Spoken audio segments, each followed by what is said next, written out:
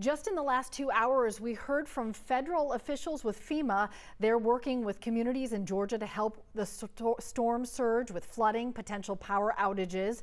Their crew includes search and rescue teams, members of the Department of Defense, and the U.S. Coast Guard. They say they know they're going to be in coastal communities helping people get to safety. But again, they are asking everybody to listen to direction as the storm moves and shifts and to not take this lightly.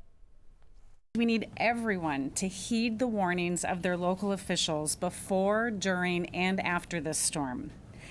There are life saving, these are life saving messages that simply cannot be ignored. The American Red Cross is reminding anyone who evacuates to take things like prescriptions, glasses, important documents. Take those along with you.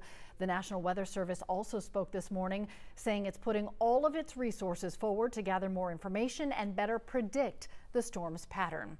For the latest information on Hurricane Ian as it is changing moment by moment, including the path of the storm and how your family can prepare, Text the word Ian to the number here on your screen. It's 404 885 7600. We'll also send you a link to our full coverage online.